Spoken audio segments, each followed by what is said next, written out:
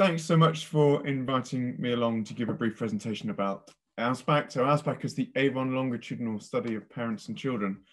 Um, you know, thanks to the organisers, thanks Jenny, thanks Rebecca for having us along. Um, and I'm not going to do a sort of a, a classical presentation structure, so there'll be no acknowledgements at the end. So it's important for me to thank the teams for these cohorts and ALSPAC in particular. So folk who run it on the ground, but also the participants who take part, not to mention our supporters, our funders.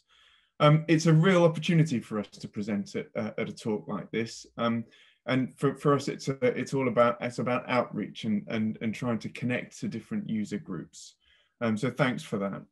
So firstly, I just want to reflect on a um, an, an, experience that that I was involved in a little while ago, and I was at a Wellcome four-year PhD meeting at the at the trust at the Gibbs Building, and I had this interaction with a with a colleague, and it really stands out for me, uh, and it made me start to think very hard about connecting communities and making sure researchers understand our research assets and have access. I actually saw this as a bit of a challenge to us. So I was approached and was having a discussion with them about PhD students, and I put the, the question about whether we could get more students using our study. And, and they were uh, econometricians, and they were doing some really fabulous research looking into various social factors and, and, and things which are having impacts on, on health. Uh, and, and the response came back almost immediately, which was, oh, but, but, but ALSPAC is a biomedical study. You know the, the suggestion being that we can't access it in some way or that there's some some difference for the study which which was a real challenge. And i thought maybe a bit disappointing on our part that we hadn't done enough to reach out.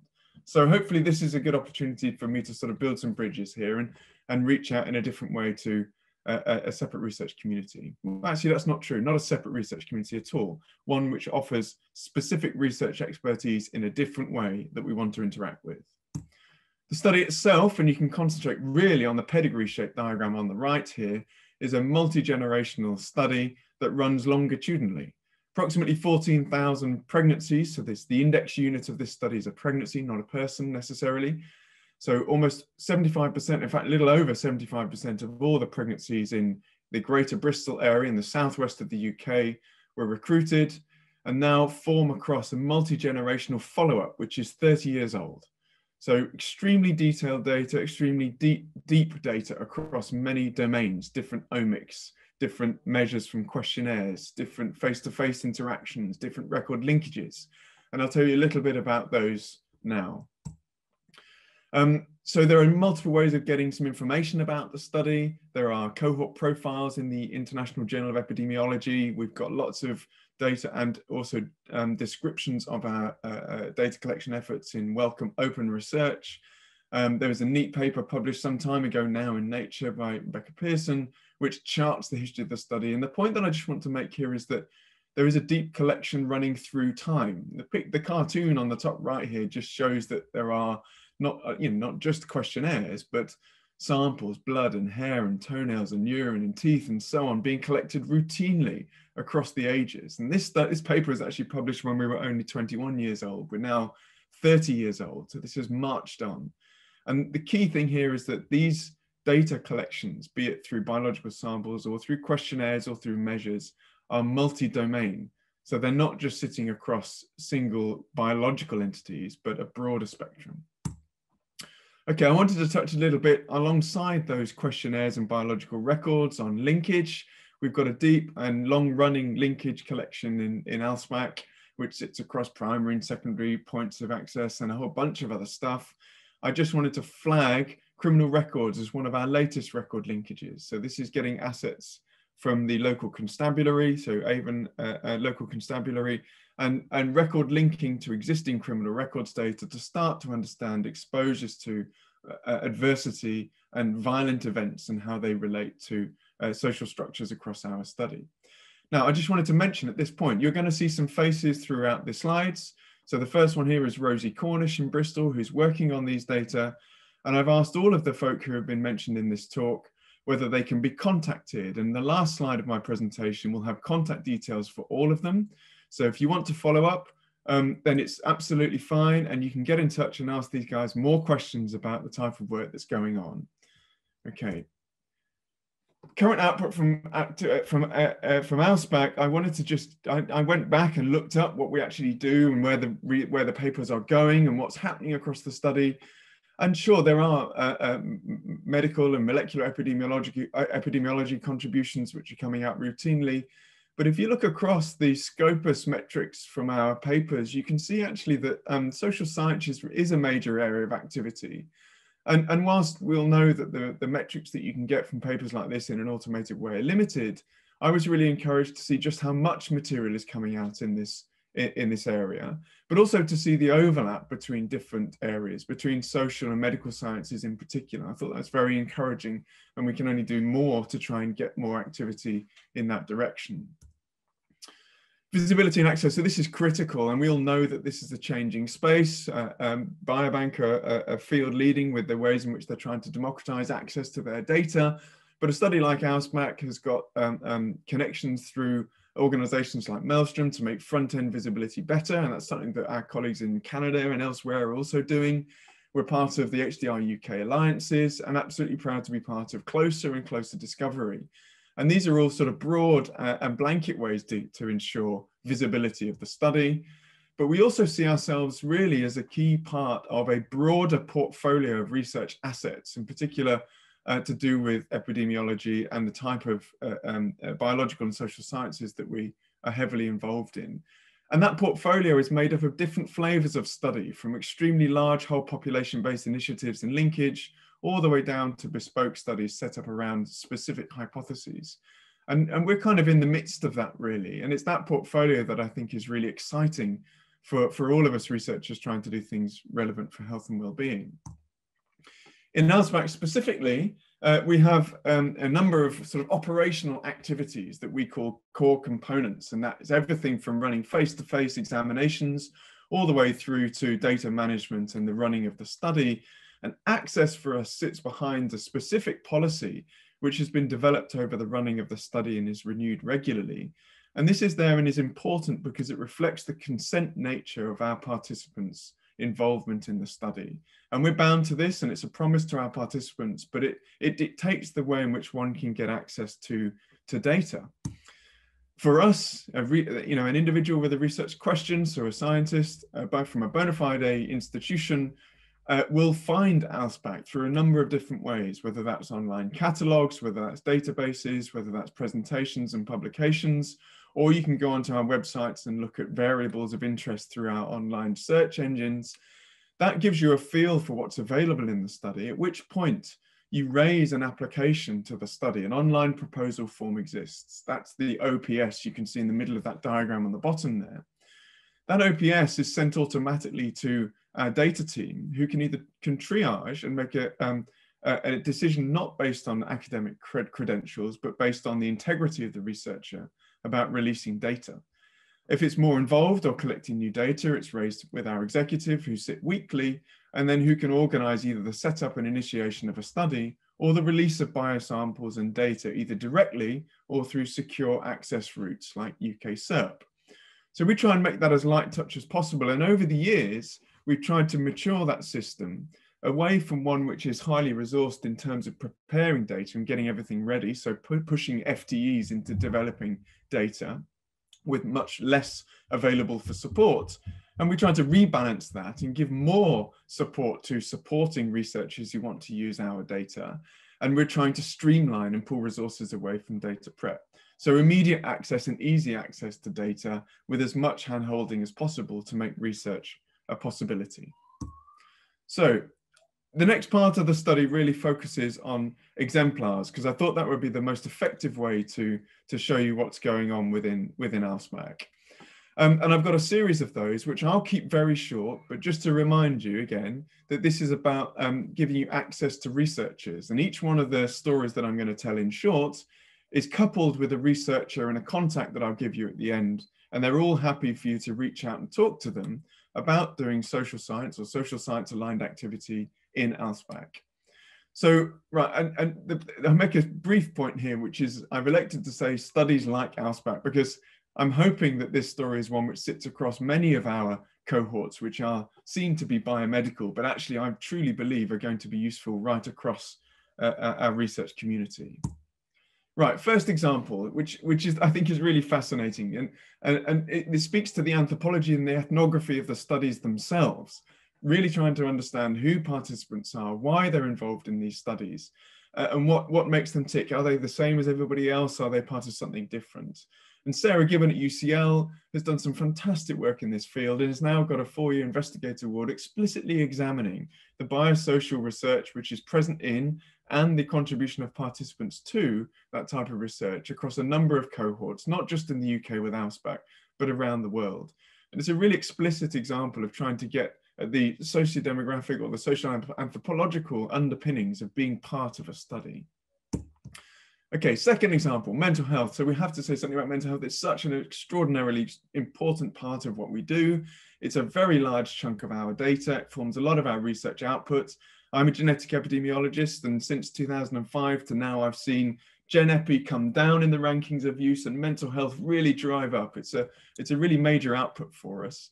Really good example of the type of data and work that we do. So this is Rebecca Pearson, who's, who's actually just got a chair in Manchester and she, this is her work looking at era-specific events related to depression in mums, showing rather radical shifts in uh, uh, peri, uh, um, perinatal depression in mothers of babies in the early 90s compared to babies being born now. Now, these shifts, of course, one could talk about in terms of measurement differences and so on, but the differences are marked. And that's an interesting academic point. The structural point to have in mind is that with longitudinal data, one can start to unpick era-specific effects. And that sits in a broader context of longitudinal work, which has looked to track the trajectories of mental health through time in our participants. And you can only do that where you've got longitudinal studies with fine, uh, uh, fine data, so granular data that look at people's health through time. And this is Alex Kwong, who's really forged the way in looking at longitudinal patterns of mental health. Right, example three, so social inequality. And, and this is Tim Cadman in Bristol, who's very much part of the Life Cycle Initiative, which is a multi-collection, so pan-European initiative, which brings together different cohorts, including ALSPAC, uh, and also uh, our friends born in Bradford and others within the UK.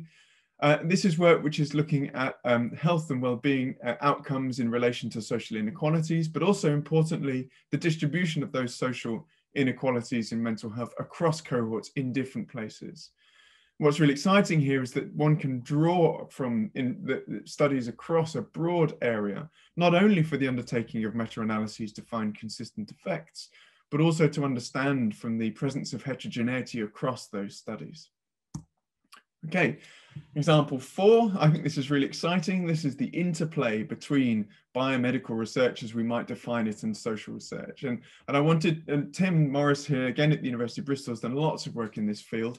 Importantly, not always looking at how biomedical could have an influence on social, which is kind of the, the doctrine that we often think about or think is overemphasized, but also looking in the reverse direction and how social features can have an impact on our undertaking an interpretation of biomedical research and results for that matter. And this is a nice overview paper that came out recently that Tim led, which was starting to examine the implications of social features for research undertaken, in particular in genetics and that, that area of biomedical science. Tim is in this in this work is is charting how uh, um, uh, social structures such as the structure of data within populations, so and, and one's ethnic origins and ancestral origins, so uh, origins, so population stratification, as we call it in our field, how that can have an effect on understanding genetic relationships, how dynastic effects are the red lines here, so that's one generation's phenotypic relationships can have an impact on the health and well-being of the next generation. So I called them era effects earlier in the in the mental health example but how they can have an effect on how we interpret genetic associations.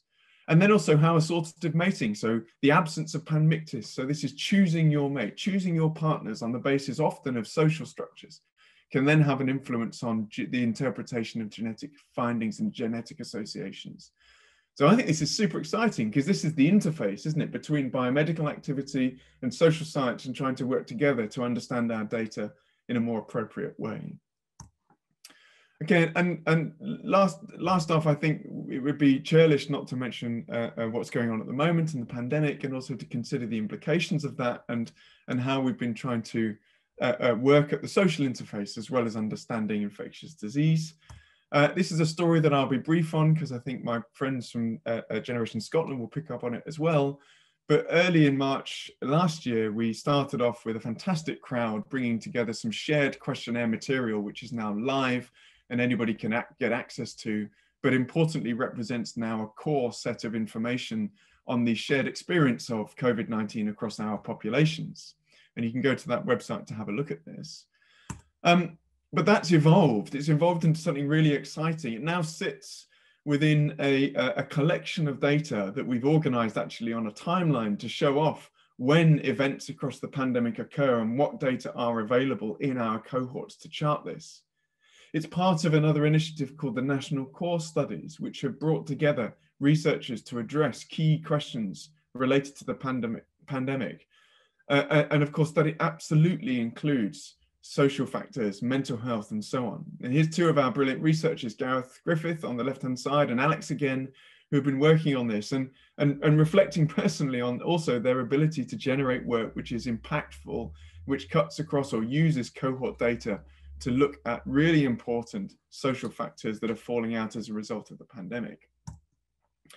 You can go and have a look at a recent output from that, which is a paper which has just dropped on medRxiv, uh, uh, uh which includes data from across multiple cohorts, but addresses mental health specifically through, uh, through the period of mitigation and the trials and tribulations of, of lockdown. But also, I'd just like to mention that that was now also fed back into the clinical community, and we're now considering the implications of bringing together data like that for trying to understand features like long COVID and the fallout, not just the biomedical side of it, but also the implications in different domains. Right then, so to, to wrap up, um, so look, ALSPAC does represent one of the you know collection of, of, of putatively biomedical studies, um, but I, I, I would like to stress that I really internally we don't really see ourselves as an as an explicit biomedical study. We are a research asset which we want as many research communities to use as possible, and we welcome more social science use explicitly. I would argue that our aggregate data through 30 years of running falls across many domains, including social science, and we have a rich vein of form in that area, um, and we just would like to do more and get more users. I think we can say um, with confidence that the, da the data that we have across uh, questionnaires, social interactions, face-to-face -face examinations, and so on, including record linkage, um, are extremely detailed. But the critical feature, I think, is that we bring that detail alongside longitudinal records, which can be used to track trajectories in, in health and well-being, but also to look at era-specific events. So I've mentioned them both as time-specific or era events in the mental health example, but also dynastic effects where generations can have an effect on each other. I also mentioned that I think it's a really exciting way to think about this is that there is an interplay between domains that we previously considered as biomedical or social science. And when they come together, I think that's actually extraordinarily interesting. And we've got really good examples. Um, you know, the work that we've done with the Social uh, Science Genetic Association Consortium, looking at um, uh, um, educational attainment, for example, and trying to understand the underpinnings behind uh, uh, um, educational attainment and what the relevance of that is for policy so so I, I, that was the pitch really from ALSPAC. That's what we are, and and and now just to reiterate this, that we've got, a, you know, you can contact me directly. So n.j.timpson at bristol.ac.uk. Please do. You can contact our executive if you want to know more about the study. Please have a look online. But the researchers that I mentioned there, so Rosie, Sarah, Rebecca, Tim, Tim Morris, um, Gareth, and Alex are all available and have said that they're very happy to be contacted if you'd like to understand more from a social sciencey point of view. The last website there is just the, um, the longitudinal, the Wellcome Longitudinal Population Studies COVID questionnaire group. And if you want to know more about that, then you can email that, that, that, that, that link there. So with that, I'll, I'll close. Uh, thanks again to the organisers of this. I think it's a fantastic uh, initiative and opportunity and very happy to take some questions and, and Lynn will join.